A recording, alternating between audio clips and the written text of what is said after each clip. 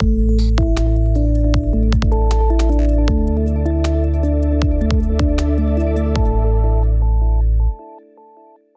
الله أوقاتكم مشاهدينا الكرام وأهلا وسهلا بكم في حلقة جديدة مع برنامج رواد الأعمال. أعزائي المشاهدين نرحب معا اليوم بضيفينا المميزين الدكتور الأستاذ عمار والدكتور فهد من نت كير كلينيك. بداية شكرا دكتور. ممكن بداية تعرفونا شوي عنكم كيف كانت البدايات مع العيادة؟ آه، طبعا أسعد الله أوقاتكم وشكرا كثير لشبكة الاي بي سي اللي عملت هذا اللقاء الجميل ونتمنى لكم كل خير دائما والنجاح دائما يعني. آه، طبعا بعرفكم بنفسي أنا اسمي عمار خانجي طبيب أسنان. الحقيقة أنا المدير المالك لل Net Care Clinic Net Care Clinic صار لها زمان في من 2004 تقريبا هي موجودة في في دبي. آه، أنا مش شوي قديم بالبلد. جيت بحوالي عام 1988 آه، اشتغلت آه، فترة طويلة في أحد المراكز وانتقلت بعدها مباشرة بعد 17 سنة 18 سنة ل Net Care يعني. وطورتها يعني كانت هي عيادة كانت بسيطة وطورناها كثير بشكل إنه صار في أقسام كثيره متعددة في قسم الأسنان طبعا وفي قسم الميديكال. القسم الأسنان طبعا نحن آه، خدماتنا معروفة بس مميزة شوي. آه، طبعا في العلاجات الأساسية من حشوات وسحب عصب وتنظيف أسنان وخلع وخلع جراحي. طبعا بينضم لنا بالقسم آه، يعني أطباء ثانيين أنا الحقيقة تعلمت كثير من خبرتي بالإمارات وبرات الإمارات. أخذت دورات كثيرة بعدة أماكن. رحت ألمانيا وسويسرا وفرنسا وكندا وحاولت إنه دائما اجذب أي شيء في شيء جديد للبلد. آه، بحسن بقدم فيه لأنه دبي تتميز بالخدمات الخاصة والكويسة. بحيث إنه الإنسان لما بيقدم خدمة آه، بيشعر إنه هي مميزة ومتقبله هون. فلازم يبحث دائما عن خدمات مميزة وقوية يعني. عملت كثير أشياء بال بال بال بالدورات الطبية وكنت أعتمد دائما التكنولوجيا الحديثة يعني. عندي كل شيء digital في عياده الأسنان. كثير مميز ال digital بيريحني كثير بيعطي دقة شديدة وخاصة في الأشياء اللي تتطلب نظرات خاصة مثل هوليود سمايل والقلع الجراحي والزرع المميز بالتقنيات الحديثة طبعا. هذا بالنسبة لقسم الأسنان يعني وهذا بالنسبة لي آه، أنا كثير مسرور آه، بالتعرف عليكم وبتعريف المكان عليكم. رح أكمل مع الدكتور فهد يحكي لكم عن القسم الطبي اللي موجود فيه نحن ويتعرفكم بنفسه طبعا. تفضل دكتور. شكرا دكتور عمار. آه، أنا أشكر الأخوة قدومهم لنا وتشريفهم لنا في العياده وتاحت لنا الفرصة نتكلم عن عيادتنا هذا اللي بدأ دكتور فهد العزيز استشاري سكر وهرمونات آه، تخرجت من 96 آه، من جامعة الكويت كليه الطب بعدين عملت آه، دورة في طب الأسرة. بعد ذلك 2002 توجهت إلى كندا وعملت ال board الأمريكي والكندي. في الغدد الصماء والباطنيه من جامعة بريتش كولومبيا بعدين جامعة ويسترن أونتاريو في كندا. وبعد ذلك اشتغلت في الكويت آه، في مجال القطاع الحكومي وبعدين في القطاع الخاص. والحمد لله يعني أنشأنا مراكز طبية مهمة في الكويت. الآن ننشئ مركز آه، طبي متخصص في السكر والهرمونات والغدد مع الدكتور عمار هي هذه لبنة في مشروع متكامل راح يكون إن شاء الله في المستقبل يرنوه بس قاعد نعملها بشكل متدرج خصوصا مع وجود فلسفة السياحة الطبية في دبي بشكل كبير كمدينة منفتحة على العالم. آه، جدا الخدمة هذه راح تكون مفيدة في منطقتنا منطقة الشرق الأوسط خصوصا مع وجود 3 مليون مريض سكر في المنطقة العربية يحتاجون الكثير من الخدمات. فلسفة العياده عندنا هو السبق الطبي الإتيان بكل ما هو متطور في العالم الغربي آه، مجاراة كل ما يحدث في الأبحاث العلمية العالمية وأخذ التوصيات الطبية الحديثة لمعالجة المريض، يعني المريض اليوم يزورنا في العياده كانه هو يتعالج في أمريكا وفي بريطانيا في احدث عياده موجودة في هذا المجال.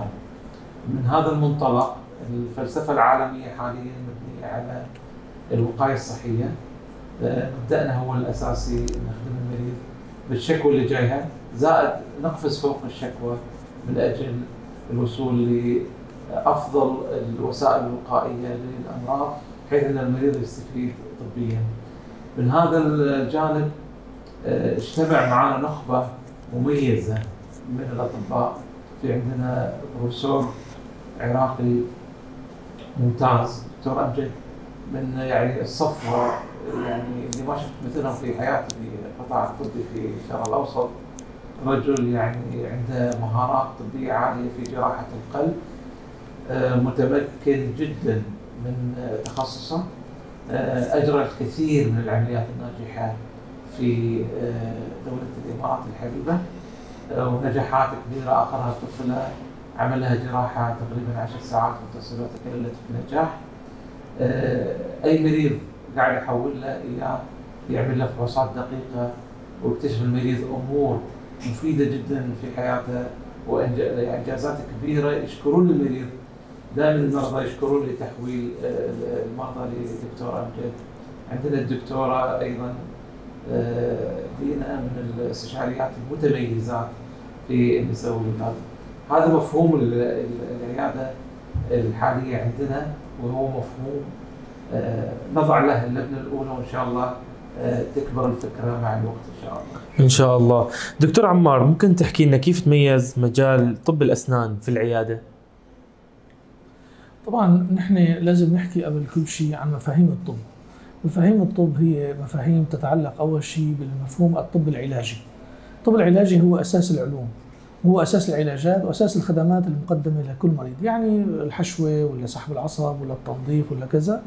وبالنسبة للقسم الطبي الأمراض العادية أمراض الرشح أمراض التلبك المعدي المعوي الأمراض النسائية البسيطة وكذا. هذا اسمه طب علاجي طبعا في طب ثاني لاحق في الطب العلاجي هو الطب التكميلي الطب التجميلي الطب السياحي. أقسام كثيره يعني حقيقة لها دورها كثير كبير.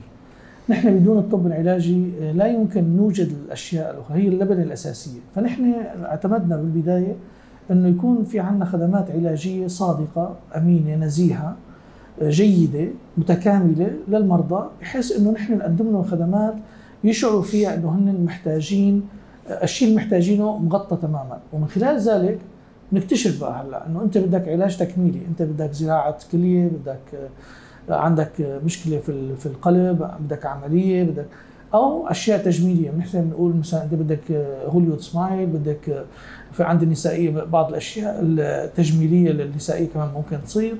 هذا كلياته بيجي بعدين. فلازم نحن نتميز أول شيء بالطب العلاجي وهذا لازم يتمسك فيه كل العيادات ويكون هو الأساس في تحريك الواقع الطبي في البلد. ومشكورين الحقيقة الحكومة هون والبلد قائمين على هذا الموضوع بشكل دقيق جدا يعني ومثابرين عليه. ومن خلاله بلشت بقى تظهر الطبقات الأخرى من الطب. فبلشنا نسمع بالطب السياحي في في في الإمارات في دبي مميزه بلشنا نسمع في الطب التكميلي من خلال بعض الانواع العمليات الجراحية الصعبة. وهكذا يعني ماشية الأمور يعني. فنحن ماشيين بهذا الأسلوب يعني. فقدمنا نحن خدمات كثير كويسة نزيهة ومتكاملة وتعاقدنا مع كثير شركات وخاصة شركات التأمين اللي هي بتكون يعني آه، لها يد طويلة في تنظيم الأمر الطبي. اللي بينجح مع الشركات الطبية التأمينية الحقيقة بيكون هو إنسان ناجح بيكون مجمع ناجح أو كلينيك ناجح لأنه فيهم كثير معايير وقوانين آه، دقيقة ومتكاملة فما ما بيحسن ينجح فيها إلا الإنسان اللي عرفان خطوات العمل تبعيته وخطوات تطوره وخطوات التحصيل النتائج منها فلما يكون الفيدباك دائما موجود بشكل جيد فمعناتها نحن حطينا القاعدة الأساسية تبع الطب العلاجي اللي أنا استمرت فيه هون أكثر من 34 سنة يعني الحمد لله. طبعا دكتور فهد عنده خبرة مشابهة بجوز جزء منها في الكويت جزء منها هون عنده أفكار لسه يعني أكثر من هيك يعني بس هذه أفكارنا وهذا مبدأنا بالعمل إن شاء الله. دكتور فهد ممكن تحكي لنا بالمجال الطبي انت حكيت عنكم قطاعات متكاملة ممكن تحكي لنا كيف تميزت أو كيف تكاتفت هي القطاعات لتقدم خدمة متميزة بالعيادة نعم إحنا في عندنا الفريق التمريض قاعد نعمل يعني تدريب خاص يعني عندنا الحين دربناهم على موضوع مضخة الإنسولين واستخدام مضخة الإنسولين لمريض السكر. آه، آه، تواصلنا مع كبريات الشركات والوكالات العالمية لمضخات الإنسولين الحديثة اللي هي فيها نوع الحين متطور كأنها بنكرياس صناعي وراح نبلش تركيبها في العيادة. في عندنا أمور أخرى مثلا الجهاز اللي يفحص الأعصاب الطرفية قبل حدوث تلف فيها في تقريبا كذا سنة إنه سودس كان بلشنا ركبناه في العيادة والجهاز التمريضي عندنا قاعد يشتغل عليه تحت إشرافنا يعني. عندنا آه، جهاز السونار القلب. قاعد يشتغل عليه دكتور أمجد. هو من أحدث سونارات القلب في الإمارات ويعمل دراسة كاملة لوظائف القلب والصمامات والشرايين سواء الطرفيه أو الرقبية أو أو الموجودة في الأطراف. فيعمل دراسة متكاملة للقلب. حتى ممكن يعرف الضغط قبل حدوثه بسنوات يعني. فهذه الأجهزة كلها تتكاتف لمعرفة الأمور قبل حدوثها بالنسبة للمريض إضافة إلى وجود كل التحاليل المختبرية لأن أحيانا إحنا نتواصل مع مختبرات خارجية لعمل فحوصات وراثية خاصة لوا- لأمراض نادرة. فعندنا تواصل بمختبرات عالمية لعمل آه، دراسات وراثية تهم المريض أو أسرة المريض لعمل برنامج وقائي متكامل من آه، الأمراض المختلفة سواء للمريض أو لأفراد أسرته. آه، وجود دكتور أمجد معنا يعني اضفى ل يعني آه، للعياده وجود شخص متخصص آه، تخصص نادر جدا يعني عنده مهارات كبيرة في عمليات القسطرة، في عمليات القلب المفتوح، في معالجة شرايين الطرفيه، في معالجة آه، مرضى السكر آه، اللي عندهم اختلالات في الأوردة الطرفيه فكل هذا يتكاتف لإعطاء خدمة متكاملة للمريض. يعني مريض السكر ومريض الباطنية من يدش عندنا؟ راح يلقى كل الخدمات اللي موجودة يمكن حاليا في مستشفيات كبرى أو غير موجودة تلقاها عندنا. آه الآن إحنا آه، عملنا موضوع يعني فحص الاختناق الليلي والتركيز عليه لأنه هو مثل تب اوف ايسبرغ موجود ولكن غير متداول في القطاع الطبي كثير. هذا الموضوع إحنا مركزين عليه وقاعد نعمل عليه دراسات كبيرة وجبنا أجهزة سهل استخدامها في البيت للمريض جهاز مثل الساعة يراقب المريض مع بعض ال- ال- الأمور البسيطة اللي ندربه عليها. يجيب لنا الجهاز ثاني يوم ينام في الليل نحطه في الكمبيوتر يطلع لنا مدى حدوث اختلالات في الأكسجين أثناء نومه. ممكن شخصه في الاختناق الليلي فما نحتاج مختبر نوم ودخول المستشفى يومين ثلاثة أيام. هالأمور هذه إحنا دائما نهتم فيها من مضخات الانسولين، فحص الاختناق الليلي، رعاية القلب قبل حدوثه، الاختبارات الجينية في الجسم، كل هذه الأمور إحنا نهتم فيها في العيادة مع وجود التثقيف الصحي بشكل كبير آه، من جانب القطاع التمريض أو القطاع الطبي. ما شاء الله. دكتور عمار ممكن تحكي لنا عن الخطط المستقبلية للعيادة؟ آه، مثل ما حكينا نحن إنه نحن عم نشوف إنه المرضى بيحتاجوا لطبقة علاجية حقيقية متكاملة. فنحن عملنا هون بال- بالعيادة التكامل للعلاجات الأساسية اللي هي أسنان ونسائية وأطفال وقلبية وداخلية وأمراض السكري والهرمونية. فبحيث إنه المريض بي- بيقضي حاجته الكاملة هون. من خلال هالتجربة هي اللي سويناها وانطلقنا للأشياء التجميلية مثل ما قلت لك والتكميليه فيها. فاكتشفنا إنه نحن لازم شوي نتوسع ب مثل ما دبي عم تكبر وبتكبر خدماتها وبتكبر أماكنها ما شاء الله وكان. فهذا بيتطلب مننا إنه نحن آه، نمشي باتجاهين أساسيين. الاتجاه الاولي إنه نعمل فروع متعددة للعيادة بنفس السياسة النزيهة والأخلاقية والعلاجية وال- ومحضرة للتكميلية مثل ما قلنا والتجميلية والسياحية. بح- بحيث إنه نعمل فروع بعدة أماكن في دبي لأنه صارت دبي كبيرة تحتاج. بحيث إنه نحن نكون عند المريض ما في داعي المريض يتنقل من أماكن بعيدة لحتى يجي. صارت الطرق والمواصلات آه، شوي صعبة وحتى نخفف من الأزمة يعني نساهم فيها مثل ما بقولوا النقطة الثانية بالتقديم الخدمات المستقبل أو الخطط المستقبلية إنه نتعاقد مع أكبر عدد ممكن من المستشفيات اللي بلشت هلأ كبيرة ضخمة جدا مثل كليمانسو والكليفلاند و ومايو كلينيك هدول في عندهم أشياء عالية المستوى. هم نحن بنحاول نكون الرديف لهم ونكون على علاقة معهم جيدة بنفس المستوى. على اتصال طبعا من خلال برامج اللي حطتها دبي هيئة دبي من خلال برامج نابض وبرامج اللي بتتداول المعلومات الطبية للمرضى بحيث إنه يكون في عندنا إمكانية لسهولة التوصيل للمستويات العالية اللي هي بيحتاجها المريض بسهولة وبوضوح وبشفافية بحيث دائما يحصل المريض دائما على أفضل خدمات حتى آخر لحظة أو حتى أعلى مستوى يعني متدرج بشكل متكامل. ما شاء الله. دكتور ممكن تحكوا لنا شوي عن نصايحكم للي بحب يجي على الإمارات؟ أنتم ما شاء الله صار لكم زمان هون واستثمرتوا. نعم. شو نصيحتكم للي بحب يجي على الإمارات ويستثمر أو يبدأ عمل فيها؟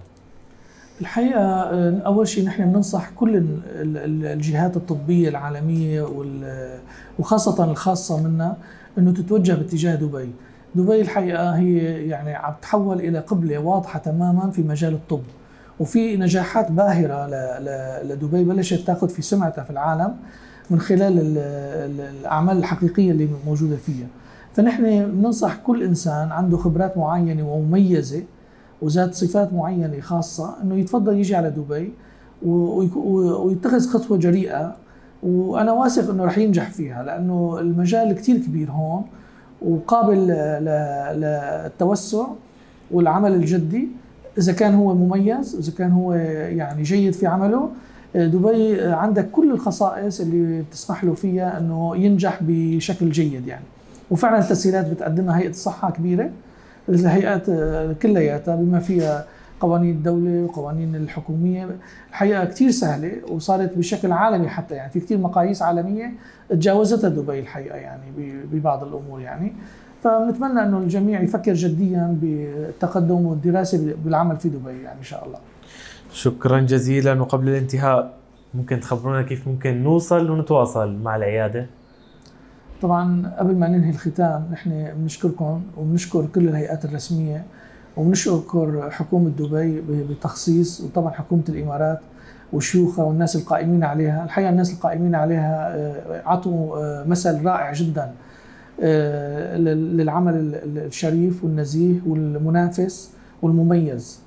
وفعلا يعني ناس في شدة الاحترام أنا كثير مسرور يعني 34 سنة حسيتها كأنه امبارح يعني وحسيتها كأنه ابدا كأنه أنا عايش في بلدي تماما بكل معنى الكلمة. فيعني كلمة شكر للجميع لازم تكون موجودة يعني. آه، الوصول لنا آه، بدبي وبالإمارات سهل جدا. عندنا ال website وعندنا الإنستغرام والفيسبوك. وعندنا طبعا جهة التواصل الخدمية العادية اللي هي الواتساب والتليفونات والموبايلات. أرقامنا موجودة دائما وسمعتنا الحمد لله مميزة ومسموعة. ونحن نحن في دبي بشارع الضيافة اللي كان اسمه شارع الضيافة طبعا. آه، قريب من مكان ما صار آه، عقود الاتحاد وهذا شيء مفتخر فيه. نحن إنه جنب مكان مهم جدا في في في دبي. آه، طبعا سموا الشارع باسم الثاني من ديسمبر. نسبة للتاريخ اللي هو وتاريخ الاتحاد وتاريخ مميز جدا فنحن كثير لنا الفخر بتواجدنا بمكان جيد جدا يعني زي ما بقولوا. طبعا نحن في منطقة بتشبه ال downtown أو أحد مناطق ال downtown في دبي لأنه دبي صار في عندها آه، مناطق كثيرة downtown وهذا بيميزها طبعا عن كثير من عواصم عالمية. آه، شارع الضيافة شارع مميز شارع أصيل شارع فيه آه، خدمات ممتازة وجيدة. نحن في منتصفه تقريبا وحوالينا صيدليات كثيرة وحوالينا عيادات منافسة كثيرة لكن نحن الحمد لله مميزين بشكل خاص. اللي بحب يتفضل عنا نحن بنتشرف بالخدمة لكم جميعا إن شاء الله. شكرا شك... كثير لكم شكرا جزيلا دكتور عمار. شكرا جزيلا دكتور فهد للحضور معنا اليوم. إلى هنا أعزائي المشاهدين نختتم حلقتنا لهذا الأسبوع. تابعونا كل جمعة وسبت على قناتكم ABC الخليجية. وعلى مواقع التواصل الاجتماعي. دمتم بخير وفي أمان الله.